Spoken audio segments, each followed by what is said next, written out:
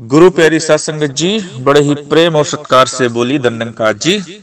आज का टॉपिक है, निरंकारी केवल निरंकार की बातें ही करते हैं। गुरु प्यारी सत्संगत जी, भक्त हमेशा भगवान की ही बातें करते हैं। भक्त जो होते हैं, भगवान के सिवा और कोई बातें करते ही नहीं है। उनके वाणी में, कर्म में केवल भगवान ही रहता है। भक्तों की सोच विचार में उनकी हर एक्टिविटी में केवल भगवान ही रहता है। भक्त जो होते हैं, भगवान मय हुआ करते हैं। और भगवान के सिवा और कुछ सोचते ही नहीं है। तो हमें सदगुरु कृपा से ब्रह्म ज्ञान मिला है। ईश्वर का इशारा मिल गया कि ये निराकार है। इसके साथ में जुड़ जाइए। इस निराकार के साथ में ध्यान जोड़ लीजिए। जब मन का नाता निराकार के साथ जुड़ता है तो फिर हमारी सोच विचार भी निरंकार में हो जाती है।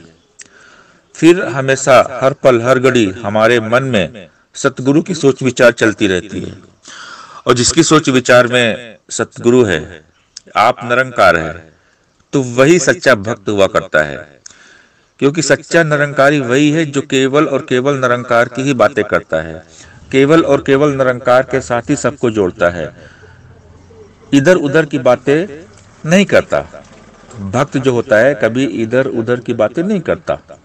हम संसार में देखते हैं कि जहाँ पर चार लोग बैठेंगे तो इधर उधर की बातें चलेंगी, निंदा चुगली की बातें चलेंगी।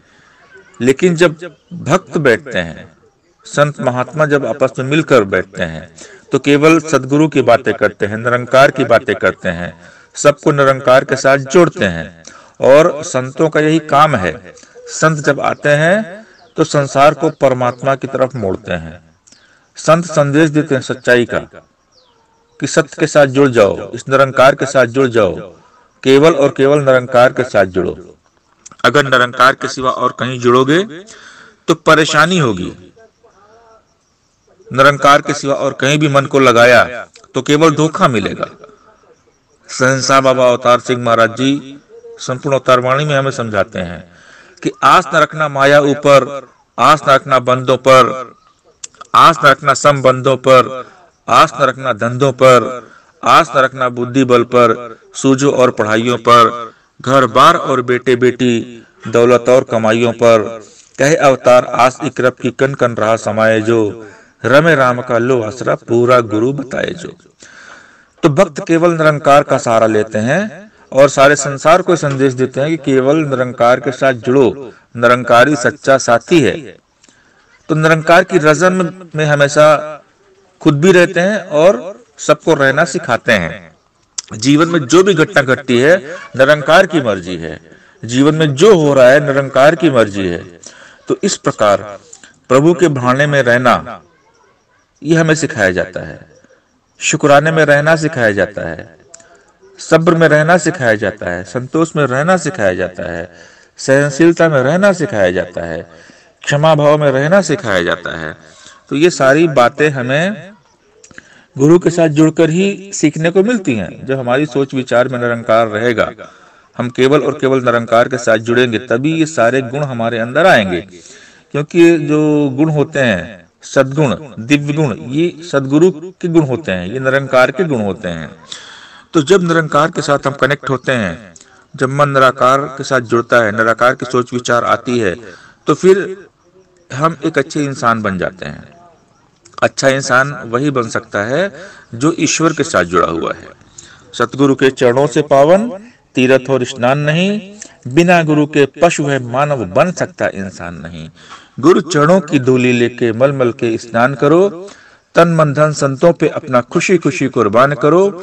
संत की सेवा वह कर सकता जिससे आप कराए अवतार हरि गुण वो ही गाए, जिससे आप गवाए ये आप, ये निराकार, ये सदगुरु ही महिमा अपनी खुद गवाता है।